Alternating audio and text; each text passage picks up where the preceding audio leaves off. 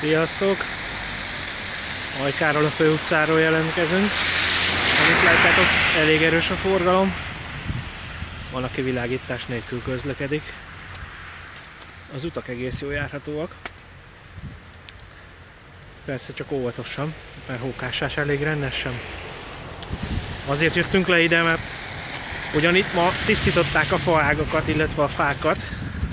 Próbálták megelőzni a bajt, hát nem sikerült. Egy faág leszakadt. Elég rendesen.